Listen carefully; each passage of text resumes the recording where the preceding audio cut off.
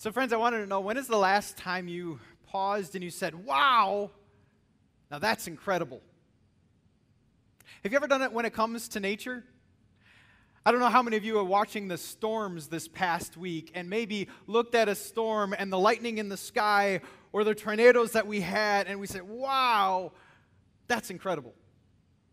Or maybe you took a vacation somewhere and you were over the ocean or you were looking up a mountain and you're like, Wow, that's incredible. We had a moment like that this year. So the Bloomers went to Vegas, to Sin City to share the gospel. I'm just kidding, we were on vacation. Um, and uh, we had a chance to go to the Red Rock Canyon. And uh, while we were there, I'll show you a picture of it. Um, it was one of those moments where we knew a picture wouldn't do it justice. And we drove into this place and we're like, wow, this is incredible. And the reason I bring this moment up, the reason I, I talk about these moments is because I, I believe that God's thumbprint on your life is for you to do this about something or someone. That if you're taking notes today, here's one of the things I believe God created us with a sense of wonder. And so if yours is not nature, for my Sox fans watching the Field of Dreams uh, maybe your wow was Tim Anderson in the ninth, the walk off against the Yankees.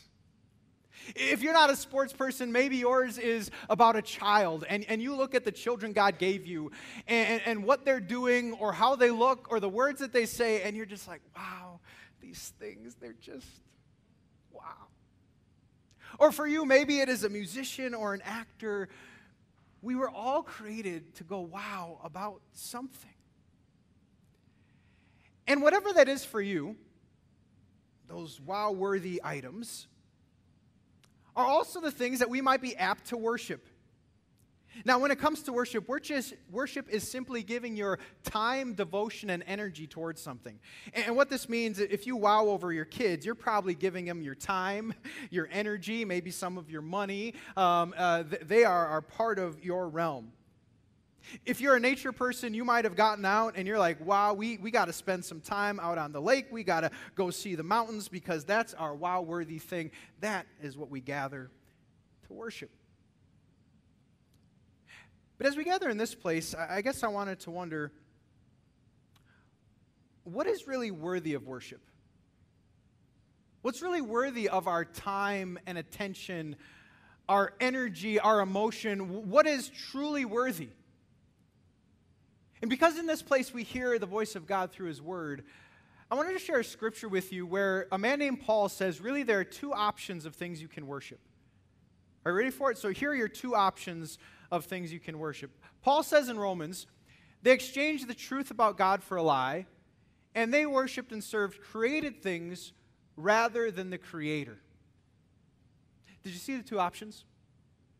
You're built to go wow, you're, you're built to worship, we all are worshipers, but you have two choices. You can either worship a created thing, or you can worship the Creator. And something I believe is that while we enjoy created things, it is the Creator that's worthy of all praise. It's the God behind our kids. It's the God behind nature. It's the God behind all things that deserves our wow and wonder talk about this. I, I wonder how many of you are Marvel fans. So maybe you saw Black Widow or Spider Man or the Avengers, and you think of all of these characters, and I don't know where you align. But to love Marvel is really to love this guy, Stan Lee. Without Stan Lee's imagination, you would have no Spider Man, you would have no Black Widow. So you got to tip your hat to Stan Lee at some point. Uh, same if you're into Harry Potter. I don't know if you're Hufflepuff or Slytherin, um, but regardless, you got to tip your hat to J.K. Rowling, right? Uh, without her, there would be no allegiance. And so, with our God, yes, you might pick out something that made you say, wow, but my, my goal in these moments is that you would start connecting the dots, that that, that is evidence of a wow worthy God. He's the one who brought that good thing, He is the giver of all good things. And so, as we dive into God's word, today we're going to find Moses and the whole Israelite nation pausing and saying, Wow, God, you're incredible. And I bet they, they probably would have told us, you know, a, a, picture doesn't do it justice for what we just saw. And even reading about it doesn't do justice because what we just saw was amazing. Here's the context God had just brought his people out of Egypt with the 10 plagues, and they were wow worthy. But if that wasn't enough, Pharaoh mounted, mounted his army to go after them and God led his people through the Red Sea on dry land. And then afterwards, he closed the sea on Pharaoh and the whole Egyptian army. This, this massive offense against the Israelites, he just completely decimated because he is that powerful. And they had just witnessed that. And what we have today is Moses' song about what God had done song about the, the majesty, the splendor, the strength of who God is. Now, before we get into it, just a, a reminder of the series of this, the premise of this series. We are starting a, a, new series called Big Church. And really, the reason is because as a church, we have the opportunity in this season to put our big boy pants on, uh, to grow up once again in the church. And we're going to talk about five things that we want to have uh, as far as intentional focuses going forward. And one of them is worship. That we had would have the opportunity to lose ourselves in the wonder of praise towards God. So let's see a man who did this, uh, Moses. Um, I'm going to invite you to stand as we hear the reading of the Word of God. Here is the song. Then Moses and the Israelites sang this song to the Lord. I will sing to the Lord, for he is highly exalted. Both horse and driver he has hurled into the sea. The Lord is my strength and my defense. He has become my salvation. He is my God, and I will praise him. My Father's God, and I will exalt him. The Lord is a warrior. I love translating that. It really just said, God is the man of war. just, that was cool. The Lord is his name. Pharaoh's chariots and his army he has hurled into the sea. The best of Pharaoh's officers are drowned in the Red Sea. The deep waters have covered them, they sank to the depths like a stone. Your right hand, Lord, was majestic in power. Your right hand, Lord, shattered the enemy. In the greatness of your majesty, you threw down those who opposed you. You unleashed your burning anger, it consumed them like stubble. By the blast of your nostrils, the waters piled up. The surging waters stood up like a wall. The deep waters congealed in the heart of the sea. The enemy boasted, I will pursue, I will overtake them. I will divide the spoils, I will gorge myself on them. I will draw my sword, my hand will destroy them. But you blew them with your breath, and the sea covered them. They sank like lead in the mighty waters. Who among the gods is like you, Lord? Who is like you, majestic in holiness, awesome in glory, working wonders? You stretch out your right hand, and the earth swallows your enemies.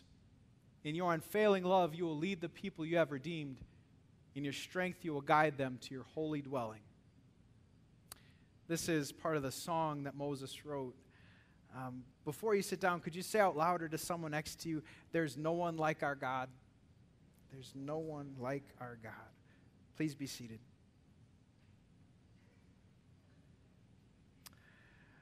Uh, raise a hands if you're able to go on vacation this summer um, breakaway. It could be a weekend, a day. Um, you were, I want to talk a little bit about the problem I have with vacation. Um, and it's that regardless of when you went, it could be a day ago, a week ago, a month ago, it always seems way far away, further away than when it actually happened. And can anyone relate to this? Because here's what happens you go and you might spend a week, you might spend a weekend, and then it only takes like one day back in real life and you get that message, you get that assignment, you have that traffic, and you then forget of the, the joy and the splendor of where you just were. that vacation, no matter how long or, or, when it happened, it can seem so far away because that's just the way that life works. And as people, we're accustomed to forgetting the good because of some of the struggle that goes on. That's not just true about vacation. This is also true about relationships. I don't know if you ever noticed that you can have a relationship where you have so much good. You stack it up, so many good experiences, but then one bad comes, and that's what you remember. That one bad sticks with you, and you have a hard time remembering even the nice comments, even the good times, all of that. And this is the problem we have as a people. I bring this up because what happens with vacation and people is also what's going on spiritually. See, we have a faithful God, a God who never takes a day off, who is always good all the time. But as we wake up, as we live our lives, we forget his faithfulness because of a current struggle. We hear of forgiveness on a regular basis, but so often we wake up and we're filled with guilt and shame. We've heard he is the King of Kings and we just sang about it. But we again get so concerned about the kingdoms of this world that it clouds out all the good of God. And so, one of the things we do in worship, and one of the reasons it's good to gather in worship, because it's in these moments, if you're taking notes, that you're going to be able to call to mind and remember God's goodness. Just as a vacation might recalibrate you to the goodness of this earth, so worship is intended to recalibrate you to the goodness of God and His control. And as Moses sings his song, all Moses is simply doing is remembering what God had just done. Consider some of these words. He said, The Lord is my strength and my defense. He has become my salvation. He is my God, and I will praise him. My Father's God, and I will exalt him. The Lord is a warrior, the Lord is his name. Pharaoh's chariots and his army is hurled into the sea. The best of Pharaoh's officers are drowned into the Red Sea. Now, I was geeking out a little bit about the Hebrew. Um, in Hebrew poetry, they don't try to rhyme things, uh, they try to use what's called parallelism, where they stack up the same thoughts and give nuance and reflection. So he talked about Pharaoh a couple times and basically just said, Pharaoh's defeated in so many words. But where is his focus? It's not on the problems, and there were a lot. Right now, the Israelites don't have a home, they don't have food, and they don't have training for war, and that's what they're going to face. What he's bringing to mind is God's faithfulness. So, as a community, our intention is to create these moments of worship with messaging and meditation and music that lead you into remembering God's goodness because here's what we know about life you're going to have a week where the strains of life get you down. You're going to have relationships that fall apart. You're going to have moments where you feel depressed and anxious, filled with guilt and shame. And when you come here, here's what I'm going to remind you God has overcome. That any sin you think of, He has forgiven through the blood that He shed. That anything that feels against you, He has power over. He has power over financial strain. I've never seen the righteous forsaken or their children begging bread. He has power over the kingdoms of this world as he makes uh, nations rise and fall at his command. He has power over whatever is going on. Relational strain, He is the strength of our heart and our portion forever. And so it's good that we continue to gather and worship and recalibrate our hearts. And what we do is simply remember the goodness of God. Now, Martin Luther, he had a comment on how we should live and how it would affect our worship. He had this to say. He said, What if we lived as if Christ died yesterday, rose this morning, and was coming back tomorrow? If you lived in the wake of that, how would that recalibrate you? If you just saw yesterday all your sins paid for, if today you know he was victorious, and if tomorrow he was coming back, how that would recalibrate you. And worship does that for us as it reminds us of the cross, gives us the victory of Easter, and it prepares us for Christ's return. But the problem is that we're so easily distracted as well. I don't know if you saw the movie Up, and there's this dog who, whenever a squirrel comes, it breaks up his squirrel. And I don't know if you uh, relate to that on any level, um, but I think that's going on a lot when it comes to our focus on who God is. In fact, to talk about this a little bit, um, I know Zoom is not going away, and I want to tell you about a new feature that Zoom has. Zoom has something called focus mode. And the reason this is important is because if you've been on this big Zoom, I'll never forget my, my wife did it with preschoolers. Uh, she had like 50 preschoolers, Lord bless her, on a Zoom. And, and, there was one preschooler who just kept saying hi to Nico. That's all I heard from the other room was, hi, Nico, hi, Nico.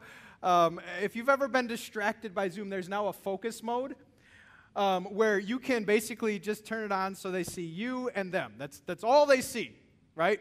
They can't talk. That's, we're going to focus in on what we're doing. I bring this up because I wonder we need like a worship focus mode, right? Don't we? And yes, I mean in these moments because sometimes we're distracted. Like, does anyone else hear a cricket? Um, well, sometimes uh, we're distracted, you know, um, by, by, by this or that going on, those around us. So not only do we need a worship focus mode to keep us in it, but also in our lives.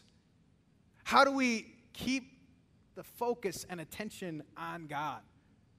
How does that continue to happen? In fact, to, to take this further, I wonder what is the thing that distracts you most from looking at God? I'm just curious. As you analyze the whole of your life, what is that thing that interrupts your purview of Him above all things? And I think the answers might vary. It might be, you know, I have work, or I have kids, or I have, you know, this or that. But we're always like, squirrel. And so the psalmist, he says, this is how we should live. The psalmist said, Oh, magnify the Lord with me and let us exalt his name together. The, the, goal of a believer is how do we take a magnifying glass to our God so that out of all that's going on, we see him over all? Because if we see him over all, we have a God who's working out everything for our good. If we see him over all, we see his unfailing love regardless of how the people of the world are acting. If we see him overall, we see him Lord of the church and we have confidence. But that is the goal to continue to make much of the Lord so he's the biggest thing we're focusing on. We're going to help you to do that, amazing love. But to go on, you know, um, th- there's more we can talk about when it comes to worship. And something that I consider is that worship, I think, is highly personal. How we prefer to worship is based a lot on preference. And to get you to believe that, I wanted to ask what is your favorite worship song? In fact, if you're on the chat box and you want to write in what is your favorite worship song, I'd just love to know. Um, and, and, so, as you're thinking about that, I want to tell you about the, the work of one man, uh, missionary Terry Schultz. So, we have a guy working in the Chicago area, just a fantastic man uh, who was a missionary for a long time in Lima, Peru. And his current uh, roles and responsibilities is to go to uh, Christians throughout the world and make sure they can worship in a style that is authentic to their language, that is authentic to their preference, that is authentic to their music. And, and so he's going into places like Africa, and instead of having them sing like Germans with four part harmony, He's trying to deduce how, how do Africans sing and, and what is their preference, what is their language, what is their style.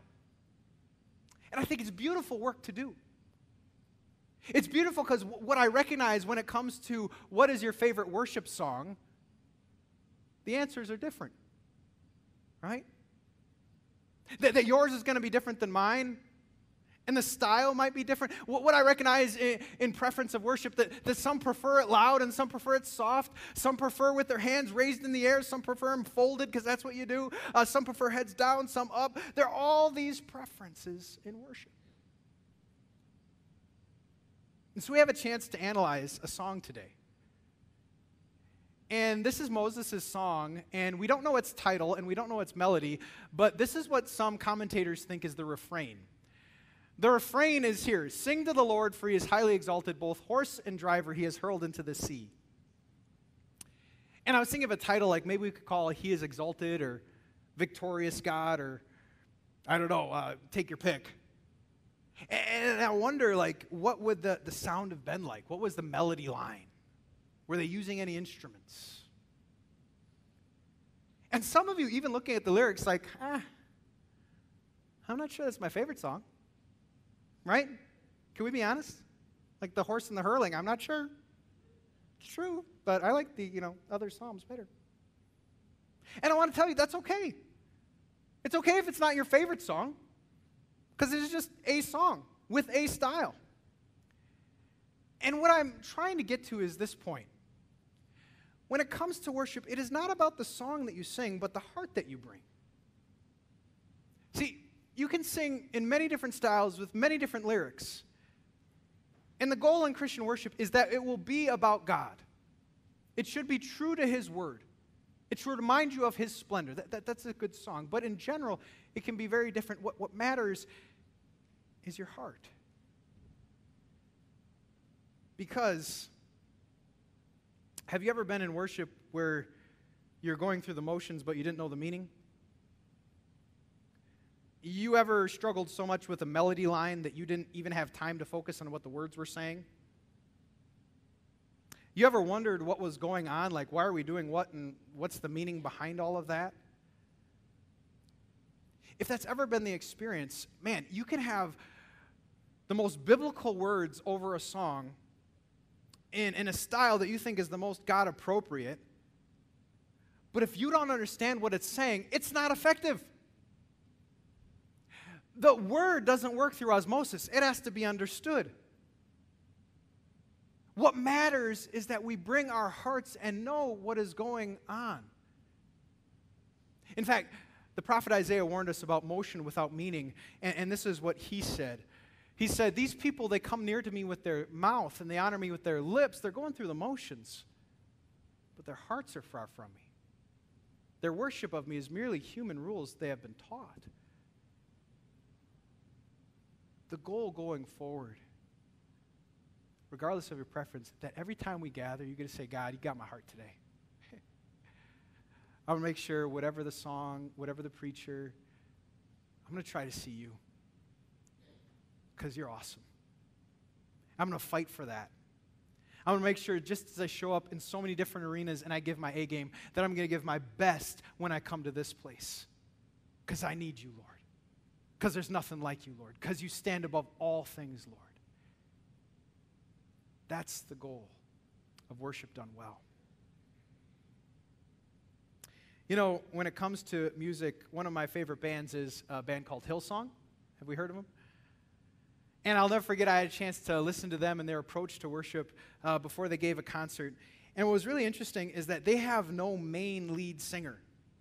You know that about Hillsong? They have a lot of different singers. Actually, they have a lot of different bands that make up the Hillsong movement. As they look at what they try to do, they try to honor every musician but appropriate their talents. And so if someone's better on, on this leading or someone's better at harmony, if someone's better at keys or whatever, it doesn't matter. They're all the same movement. It's not about one person overall. I thought that was such a great approach. I bring that up because there is some debate whether Moses actually wrote this song. Do you know that? Um, so I was reading some commentary, and, and they say, well, Moses, he wrote a lot of scripture, and he never writes this way. Like, it's too poetic. And so some commentators say, well, he was, you know, really awestruck, and so Moses could have put this together in his finer moments. But some say it could have been Miriam. The language is so different that maybe this is Miriam's song.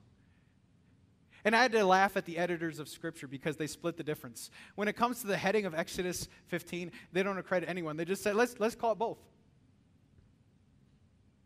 I bring that up because does it matter if it's Moses or Miriam's song? It doesn't. What matters is that it talks about who God is and what He did. And that also is so essential when it comes to worship. That when it comes to our principles, worship is not about the leader, but about being led to God.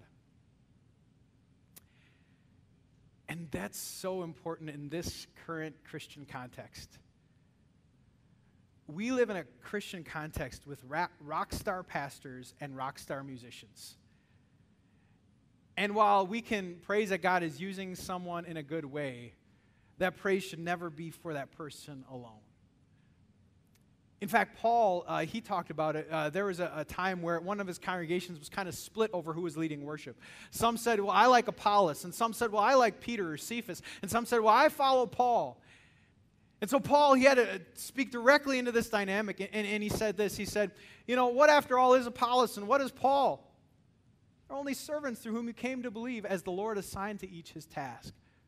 So neither the one who plants nor the one who waters is anything, but only God who makes things grow. At Amazing Love, I'm so excited in this season that you get to hear another voice with his own language telling you about that same God. Next week, we have the opportunity to hear from Pastor Jeff as he brings a powerful word, and I'm uh, so excited to hear from a brother about that same God and, um, and know that God is going to use him powerfully in this place. Because worship is not about a leader, it's about being led to that same God. One final thing.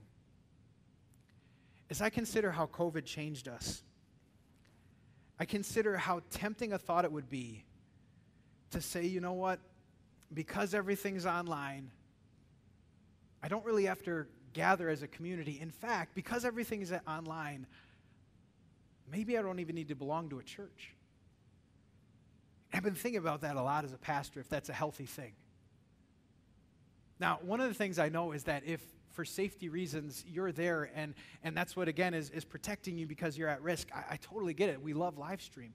Um, I also love when, when you're away on vacation, you can't make it, and it has a chance to, to bring you into community. But, but if the only goal is to stay alone, say, I'm going to follow Jesus alone, that's, that's my spiritual game plan going forward. I just don't think it's best. I mean, consider it this way Have you ever had a moment in life where you wanted to share it with someone else? Maybe you're looking at a sunset and, and you were away at work and you're like, man, if my significant other was here, then it'd be good. Maybe you're eating a meal and you know that foodie in your family, and, and you can't help but think, man, if, if, that foodie was here, they would sure enjoy this. In fact, we got to come back, we, they got to be here. Because some things, they're just better together. I think of the song that was sung this day. Moses, he could have just went to his tent if he was the writer, and he could have had this moment with God, and that would have been an incredibly powerful thing for him. But more powerful is a whole community erupting over this same song and this same sentiment. More powerful is not only Moses, but the whole nation saying together. And that's what I've seen in the eyes of people who have come back to worship with tears in their eyes, and I knew they missed it. Because, yes, it's something to worship alone, but, but honestly, the wonder of worship happens best when it's in community. And so, as a community, we're going to continue to create these moments where we say, Wow, God, you're incredible. Because as a community, what we know is there is one who's worthy of all praise, and that is the Lord we've come to see. Amen.